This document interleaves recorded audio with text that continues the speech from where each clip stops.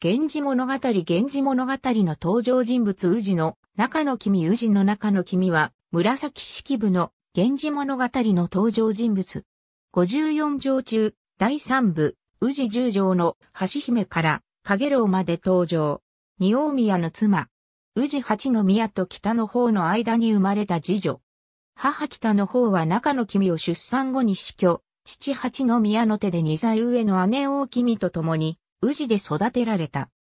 姉妹ともに美しいが、姉の大君が物静かな性格の優雅で気高い女性であるのに対し、妹の中の君は可憐さで勝るとされる。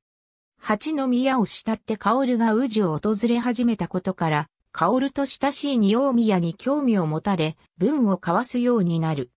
八の宮の死後、大君は自分に求婚する薫を中の君と結婚させたいと願うが、あくまで大君を望む薫の手引きで思いがけず、仁王宮と結ばれる。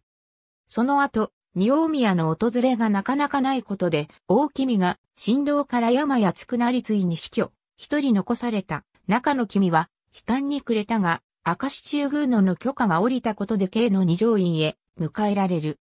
薫の親身な貢献に支えられ、また夫仁王宮も中の君を熱愛したが、やがて仁王宮と夕霧の娘六の君の縁談が持ち上がる。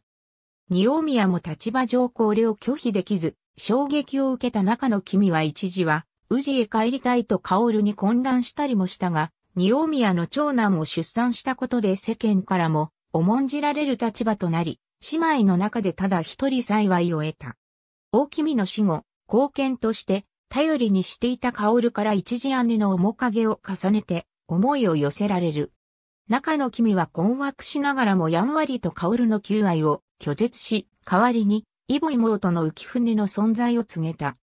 しかし、浮船を二条院で預かった際、二大宮が彼女に目をつけ、後に薫と二大宮の間で、浮船が板挟みとなる悲劇を招く原因になった。ありがとうございます。